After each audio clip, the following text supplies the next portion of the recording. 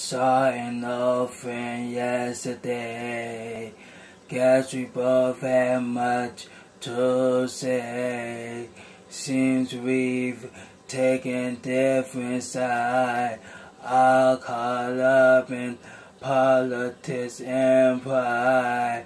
If we can get beyond the blame, I know we will see we are still the same. The distance between us will fade.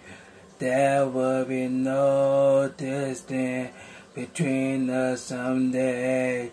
In that distant land across the sea, there are people just like you and me.